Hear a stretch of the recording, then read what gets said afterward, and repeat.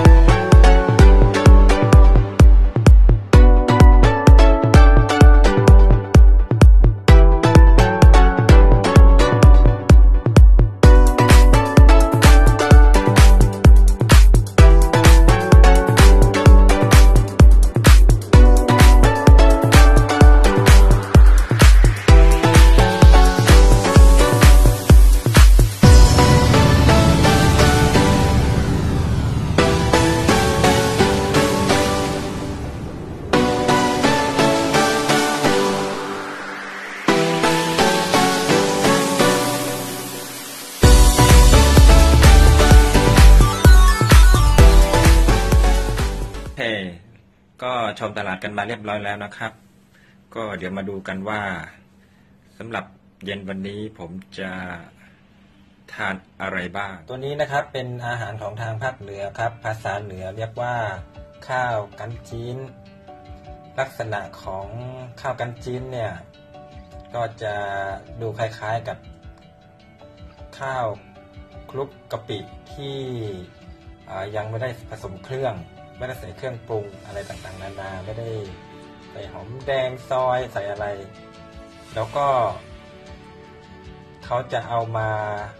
ห่อใส่ห่อใบตองเป็นห่อๆแบบนี้ครับ และเวลารับประทานก็จะทานกับน้ำมันกระเทียมเจียว แล้วก็ต้องมีพริกแห้งคั่วมาแนมด้วย พื่อเป็นการเพิ่มรสชาติให้อร่อยมากขึ้นนะครับ ตัวนี้นะครับตัวนี้ก็คือลาบคั่ว เป็นลาบ แบบภาคเหนือนะครับ ไม่ใช่ลาบแบบภาคอีสาน ลาบคั่วก็คือลาบดิบที่เอามาคั่วให้สุกเพราะว่าสมัยก่อนคนนิยมรับประทานลาบดิบกันมาก แต่พอเอเรื่องสุขอนามัยมีความเจริญมากขึ้น ก็มีการนำมาทำให้สุกเพื่อให้คนที่ห่วงใยและดูแลสุขภาพได้รับประทานกันนะครับตัวนี้เรียกว่าผักกาดจอ มันก็คือแกงผักกาดนั่นแหละครับ แต่มันจะออกรสเปรี้ยวใส่หมูสามชั้น จริงๆแล้วเป็นอาหารยอดนิยมของทางภาคเหนือด้วยนะครับ ตัวนี้ ถ้าใครเคย ฟังเพลงของเจรันบโนเพชรนะครับ ก็จะมีผักกาดจอตัวนี้ด้วย ผมคิดว่าตัวนี้น่าจะใช้เป็น ซุปสำหรับอาหารเเวลาคุณรับประทานอาหารภาคเหนือ ก็ใช้ซดน้ำตัวนี้ได้ แต่จริงๆแล้วเนี่ยอาหารภาคเหนือก็มีแกงอีกหลายชนิด ที่ใช้ซดน้ำเพื่อให้เกิดความคล่องคอเวลารับประทานอาหาร ส่วนตัวนี้นะครับ เรียกว่าตำมะเขือยาว เป็นอาหารทางภาคเหนืออีกชนิดหนึ่งที่ผม ชอบมากซื้อติดไม้ติดมือเข้าบ้านทุกครั้ง เพื่อที่ว่าคุณแม่ผมจะได้ไม่ต้องทำอาหารให้เหนื่อย ตัวนี้อร่อย เป็นอาหารอีกตัวหนึ่งที่อร่อยมากนะครับ แหนมใช่ไหมครับน่าจะเป็นเรียกว่าผัดแหนมนะผัดแหนมเนี่ยไม่ผมไม่ทราบว่าดั้งเดิมคือ เป็นอาหารของภาคไหนนะครับ หรือว่าเป็นการนำแหนมมาประยุกต์ในการทำอาหารแบบใหม่ขึ้นมา เห็นสีสันน่ารับประทานผมก็เลย ติดไม้ติดมือกลับมาด้วย ผักต้มนะครับ มีทั้งมะเขือเปราะทั้งมะเขือพวงทั้งมะเขือพวงมะเขือเปราะนะครับนอกจากผักต้มแล้วเราก็ยังมีผักสด ผักสดก็ในนี้ก็จะมีทั้งตัวนี้ภาษาเหนือเรียกว่าผักไทยนะครับ กลิ่นจะออกรสชาติจะออกเฟื่อนเจือนเจือนเฟื่อนหน่อย ใช้สำหรับรับประทานกับปลาคั่วนะครับ อีกตัวหนึ่งก็คือสระแนกับสระแหน่นะครับ คือสระแนใบใหญ่มากน่ารับประทานครับเมื่อกี้ผมล้างจนมันในนี่หมดแล้ว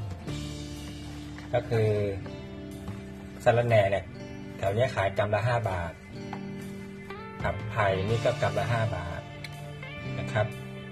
ก็เป็นสิบบาทผักกาดขาวนี่เจ็ดบาทสามตัวนี้ซื้อมาสิบเจ็ดบาทส่วนกระลำปีนี่ก็แถมมากับลาบนะครับ และผมก็ยังมีข้าวสวยร้อนวางไว้ข้างๆเผื่อว่าข้าวกันจีนไม่พอ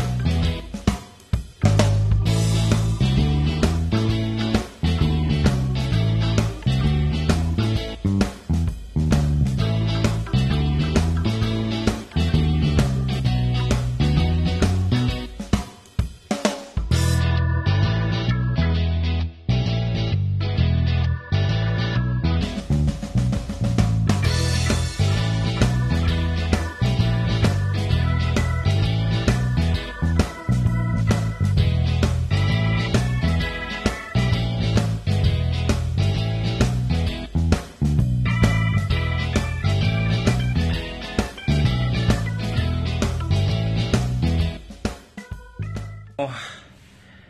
โอ้ยอิ่มมากๆ Okay I'm so full now Thank you very much for watching so far See you next time Peace